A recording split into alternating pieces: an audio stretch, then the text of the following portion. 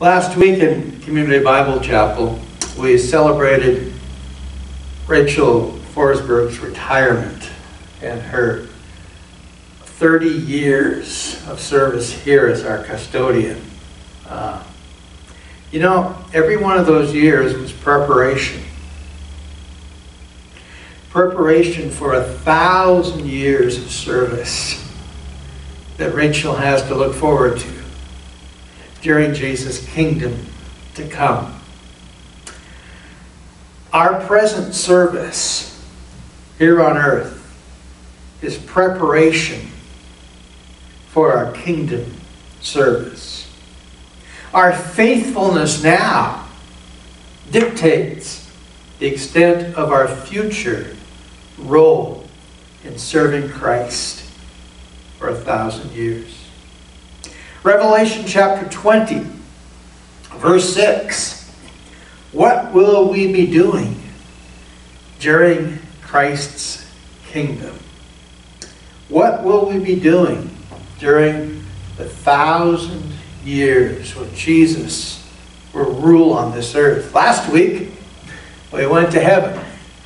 We saw what we would be doing now if we went to heaven. That's not our final stop. In fact, it may be quite brief. For seven years, maybe, during the Great Tribulation, and then the Lord's going to come back with us and we're going to reign with Him on this earth for a thousand years. So, I want to answer some questions. Who will be reigning with Him? When will we be reigning with Him? Where will we be reigning with Him? What will we be doing? And so what? And we've already really answered all those, but let's look a little more in depth. And I trust God this morning, this time when you're listening to this, will be stirring and encouraging you be faithful followers in Jesus Christ. Let's pray. God, guide us for your glory, the study and practice of your word. In Jesus' name. Amen. So who? Who is going to be serving with Christ during the millennial kingdom? Revelation chapter 20 and verse 6. Blessed and holy is the one who has a part in the first resurrection. Over these the second death has no power. But they will be priests of God and of Christ and will reign with him for a thousand years. It mentions here the first resurrection. There are two basic resurrections mentioned in the Bible. There is the earlier resurrection that has many stages to it, which is a resurrection to life. And there's also a resurrection of dead people, a later one, after the millennial kingdom. A resurrection to death. Daniel talks about this in Daniel chapter 12 and verse 2.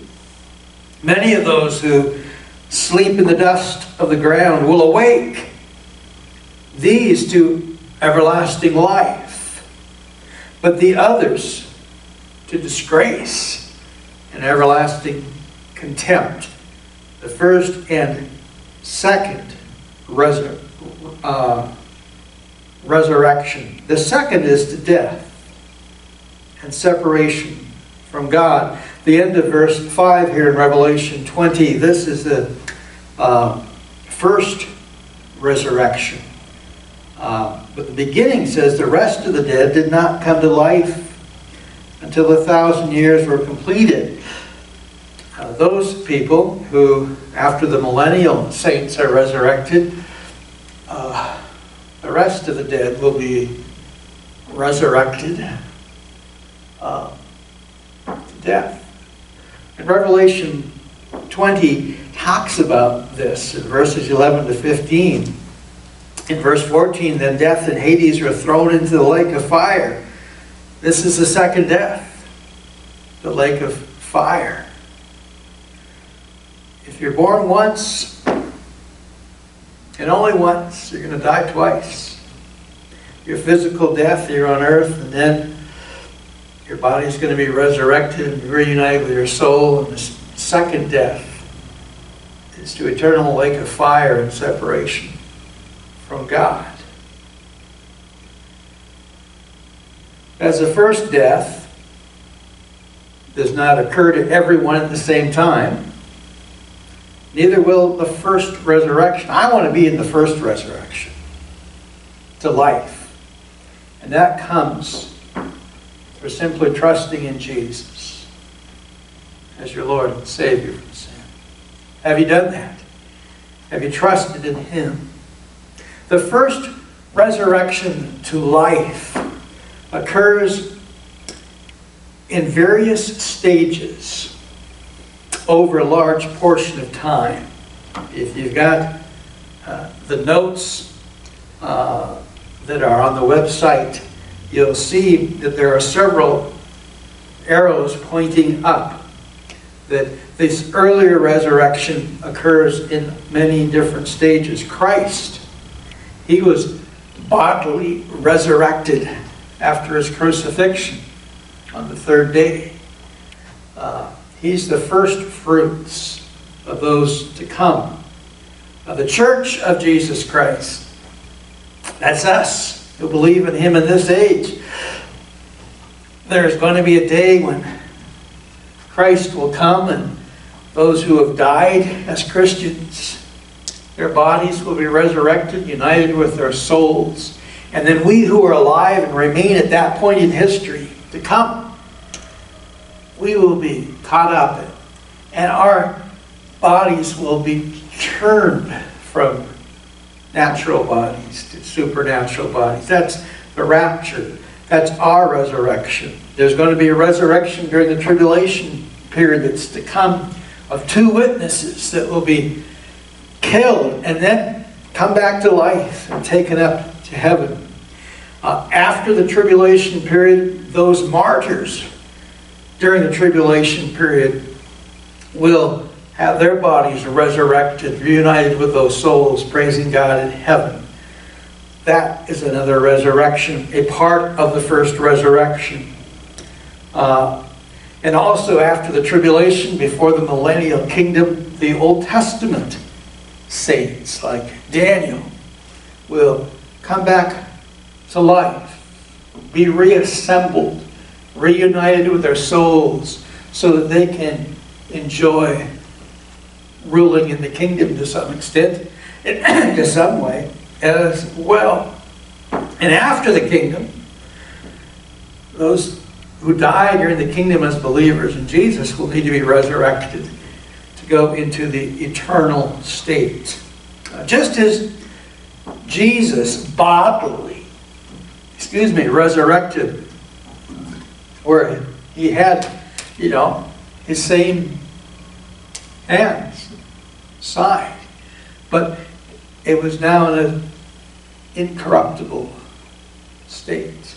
So, will we be in our resurrection if we believe in Jesus Christ. To trust in Him today, if you haven't already. So that's a little bit of who. Those are the first resurrection who have believed in Christ. 1 Thessalonians 4.14, they believe that Jesus died and rose again for them. Now, when will this take place?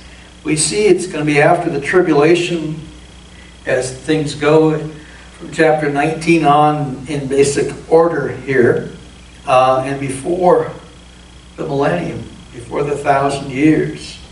Uh, blessed and holy is the one who has a part in the first resurrection. Over these, the second death has no power. They will be priests of God and of Christ and will reign with him for a thousand years. Just to review, you know, these time periods. Uh, we are in the church age when when the rapture comes, Jesus will meet us in the clouds and we will be resurrected uh, to be with Jesus. And we will be with Jesus until the end of the tribulation period. And then we will come with him with the armies of heaven for the bride of Christ coming. with All those hallelujahs. And Jesus will land on the Mount of Olives this time. And he will judge the Antichrist and his armies, send Satan to the bottomless pit, chained for a thousand years. And then we will rule with Christ. Um, my goodness. So, um, the number here, a thousand years. Uh, numbers in Revelation are to be taken in a normal way. Uh, seven churches means seven actual churches that existed in the time that John wrote this. Um, 42 months is three and a half years. 1260 days is three and a half years. Uh, those are numbers we take literally. And six times in Revelation 20 we see this thousand years mentioned to underscore that that's how long it is. It will be on earth. Where? On earth. Oh, by the way, preview to next week, we look at the eternal state. If you look in Revelation 22 and verse 5, this is part of this when will we rule? We will rule during the millennium. But Revelation 22 5 talks about the eternal state in the new Jerusalem here on earth, a, new earth. There will no longer be any night, and they will not have need of the light of the lamp or the light of the sun because the Lord God will illumine them, and they will reign forever ever. Oh, what a wonderful thing that is. So, what we're seeing here that we're going to be doing in the millennium is going to be similar to what we will do forever in the New Jerusalem. Where are we going to serve? Well, this thousand year period that we're going to serve, we're going to be back here on earth uh, planet Earth is going to be around for a while then. So don't panic about our Earth and it dying. Uh, we've got seven year tribulation period to come. We've got a thousand years of Jesus and us ruling on this earth. It's going to be around. And heaven then is not our final stop. When Christ comes back, we will come back with him to be here again, enjoying Lake Superior and the mountains, forests, the rivers, the oceans, planet Earth. Um, and as I mentioned, when Christ comes back, uh, he is going to defeat Satan. And the kingdoms of this world that the Antichrist has reigned over and trying to establish a one world government that won't work. Those kingdoms will become the kingdom of our Lord and of his Christ. And he will reign forever and ever. And Revelation 5, verse 10, talks about what will be happening to believers who are resurrected. Um, those purchased from oh, every tribe, tongue, people, and ethnos, you have made them to be a kingdom and priests to our God, and they will reign on the earth. And we are going to reign. If we suffer with him, Paul says, we will reign with him. Uh, and there will be a need for rulers. The uh, survivors of the tribulation period that come in now to the kingdom, uh, which they will need someone to rule, to guide, to administrate. There will be potholes that will need to be filled. Uh, there will be conflicts that will need to be resolved. And I'm not sure how many people will be believers and survivors at the end of the tribulation. I know all of Israel will turn to Christ and be saved. But what's going to happen to these first inhabitants of the kingdom that Jesus will say to the nations, Come, enter the kingdom that I have prepared for you. What will happen to them is they will multiply crazy. In this perfect uh, situation, uh, we find that vegetation is going to grow, farming will be productive, Israel will be gathered to its promised land, the lamb will lay down with the wolf and all those kind of things, and the lion, and oh, it's amazing. Uh, but let me go to one verse, Isaiah chapter 65, in verse 20. Isaiah 65, 20. And my, my point here is that there's going to be a lot of people populating planet Earth after the tribulation because of multiplication. Uh, no longer will there be in it an infant who lives but a few days, or an old man who does not live out his days. For the youth will die at the age of 100 and the one who does not reach the age of 100 will thought to be accursed. They will build houses and inhabit them. It goes on and talks about the wolf and lamb grazing together, and a lion will eat straw with the ox. Wow. In productive time, human beings will be productive as well, and there'll be multitudes and billions and billions, and they will need administration, and we will be able to help them with that. So that's where, which then leads to, you know, what will we be doing? Revelation 20, verse 6 they will be priests of God and of Christ and will reign with him for a thousand years.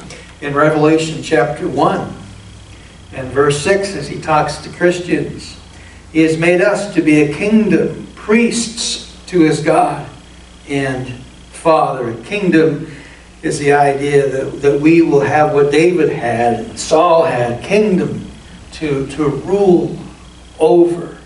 It's amazing. Uh, God is so gracious. So there's two things that we'll be doing for sure during the millennium as faithful followers of Christ in this age. One is to serve as priests, similar to what we saw last week that we'll be doing in heaven, praising God, petitioning God. But let me add another, a third now, that we'll be doing during the millennium, is proclaiming God. Um, how will we be serving as priests? To these people who are entering into the kingdom. Uh, we find that um, Satan be bound, people be multiplying, but every person born into a believing family to begin with will have to accept Jesus for their own as Lord and Savior and some will not. And what will be needed for every child born into the kingdom is to hear the good news that Jesus the King is also their Savior if they take Him as that, to deliver them from the second death, to forgive them of sin. And, um, well, Let's go to Isaiah 52 to see what we might be doing. And well, I guess what we, we will be doing during the kingdom because we will be priests. One of the things a priest does is represent God to the rest of the people. We will be God's representatives as we serve His Son Christ. And we will be there to tell these people about Jesus, the good news, so they might be saved. Isaiah 52 is in the context of coming millennial kingdom. And it says, How lovely on the mountains are the feet of him who brings good news, who announces peace, shalom, well being, and brings good news of happiness, who announces salvation and says to Zion, Your God reigns. When Jesus will be reigning from Mount Zion, Jerusalem, on the throne of David, we will be his priest, spreading the news that he is our Savior. For faith comes by hearing, and hearing by the Word of God. As priests, we will be praising, petitioning, and proclaiming. And that's what we're to be practicing now. This last week, when you had a little bit of downtime or waiting for something, for a phone call, for a traffic light, I hope you use that time to praise, to petition, or to proclaim. That's what Christ wants. So, there's priestly service, and it really encourages me when I hear that people are sharing Jesus with others. The reason most of us are here today is someone shared with us. Now, the main thing to answer the question, what will we be doing in the kingdom, is that we're going to be ruling with Jesus. Oh, we will be priests of God and of Christ and will reign with him for a thousand years. In Matthew 19 28, uh, Jesus promised his apostles that uh, in light of the fact that they have left families and jobs to follow him, God will give them many times more, and they will rule over the 12 tribes of Israel. And to all who sacrifice in this age, uh, God has blessings for us related to the same kind of thing. They are to ruling uh, in the millennial kingdom. Um, and it's going to be a wonderful, wonderful time to do it. Because, uh, as we know from Isaiah chapter 9, Jesus will be the main ruler. Uh, there will be no end to the increase of his government or peace on the throne of David and over his kingdom to establish it with justice and righteous.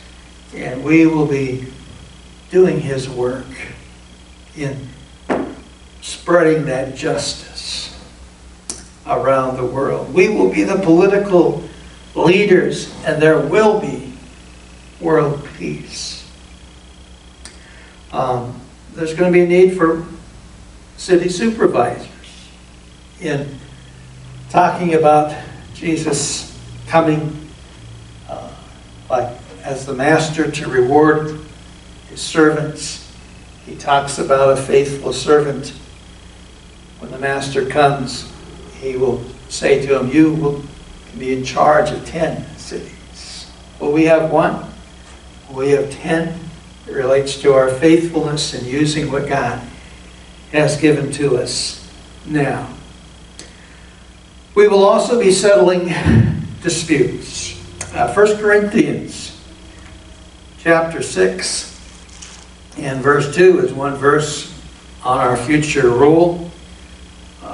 Uh, Paul tells the church that was squabbling and taking each other to the pagan courts to sue them. He, he says, you should do it before the saints. Do you not know that the saints will judge the world. See, we Christians, that's who he's referring to as saints here. One day we will be the judges of the world. So we ought to be able to arbitrate and settle disputes among ourselves today. Practice for what we're going to be doing as judges, as rulers, as kings and queens during the millennial kingdom. We will reward the righteous, sentence the wicked, because people will still have a sin nature. So that's what we'll be doing. We'll be priests and we will be rulers. Which leads to the practical part. So what? So what?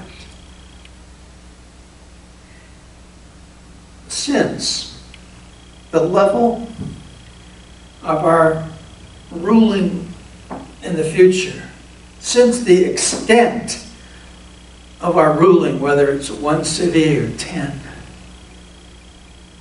is based on our faithfulness to what God gives us here today. That we need to be faithful people. Uh, Matthew 25 and verse 21, another parable Jesus told related to his coming back to rule uh, the master says to the slave, Well done, good and faithful servant. You are faithful with a few things. I will put you in charge of many things. Enter into the joy of your master. Oh, what God wants us to do. What will bring joy to Jesus is the few things God's given us here to do now that we're faithful in then oh, he will give us much. And that will rejoice him because we've honored him here. We will get to show that honor in the future by our promotion coming. Uh, some more verses related to us being faithful now. 1 Corinthians in chapter 3. 1 Corinthians chapter 3 and verses 13 and 14. Each man's work that we do on this in this age will become evident. For the day will show it because it will be revealed with fire. The fire will test the quality of each man's work. If any man's work which he has built on it remains, he will receive a reward. Let's be faithful. 2 Corinthians chapter 5 and verse 10. For we must all appear before the judgment seat of Christ, so that each one may be recompensed for his deeds in the body according to what he has done, whether good or bad. 2 Timothy chapter 2 and verse 12. If we endure, we will also reign with him staying true to Christ, loyal, and also uh, being victorious over temptation uh, will merit us the opportunity to rule. Uh, Revelation here in chapter 2 and verse 26. Revelation 2 26. He who overcomes and he who keeps my deeds until the end, to him I will give authority over the nations. Revelation 3:21 He who overcomes I will grant to him to sit down with me on my throne as I also overcame. What motivation to be overcomers, to be victors over temptation. So our expertise that God has given us to develop here is just practice and a proving ground for what he wants us to be doing in the kingdom to come. What does that mean? Well, this is my understanding. the raising of our children that God's given us to do. Through love, instruction, consistent discipline, mediating quarrels, and affirming their sacrifices, is preparing us for kingdom rule. The business skills that you use to help your family and church will be utilized on a bigger stage in the kingdom. Your witnessing skills that have been honed for speaking to family and friends will be utilized further in the kingdom. Your building skills that you have modeled for others to learn construction from will be multiplied in the kingdom. Your gardening insights and hard work prepare you for overseeing productive kingdom farming. Your healthy recipes could be passed on to millions. Your insights in repairing machines will be needed to train mechanics for the kingdom. Your faithful musical service for God today might be a reason to promote you, to train musicians to play before the King of Kings in Jerusalem. To the degree we are faithful with the talents God has given us here, to that degree, they will be multiplied in the kingdom. Last December, I was nervous. Uh, Becky had to have surgery. She had to have an oncologist do it because there was a chance they would find cancer. And just before that, we were sitting at home in our recliners. And I was nervous about this soon surgery. Becky had her earbuds in and she was listening to music. And she was content. She was listening to a song, Well Done. Welcome to the home prepared for you. Are we ready?